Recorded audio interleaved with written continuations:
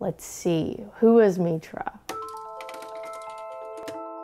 Metra Mitchell is an artist who loves the magic of Halloween and likes to explore the strength and the vulnerability in her characters.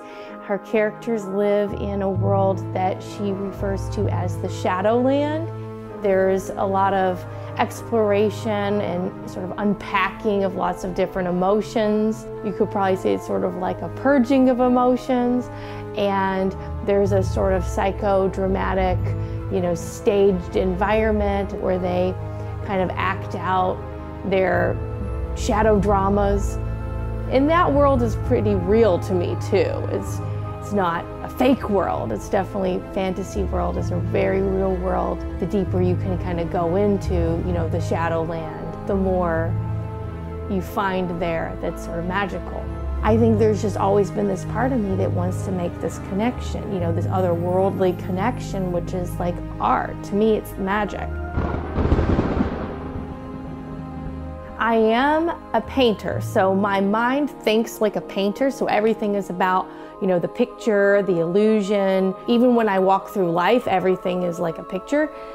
But in the world of painting, you know, I do call it the theater of painting. So having a stage, having an actual physical stage, a physical set, it's being the director. So then you have the script, you have the characters, you know, you're exploring patterns of behavior, you know, with your different characters.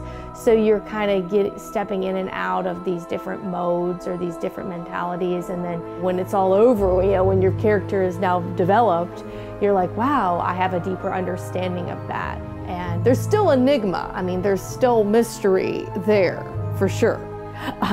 but certain characters kind of trigger me into sort of different different mindsets and different personalities or different characters.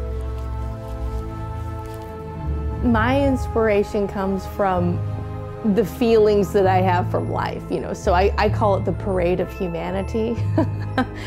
and I think there's a lot of, of course, excitement and, and energy there, but there's also a lot of frustration and there's fear. Real world's a scary place, but I think the artist understands how to traverse that because that's sort of the role of an artist, I think, is to kind of help people make it through the parade of humanity. And somebody's got to do the magic, right? And, and who's going to do the magic? Well, you are. You're going to do the magic. I always say you got to put on the rhinestone jacket. People people want to see a show, you got to you got to give them what they want.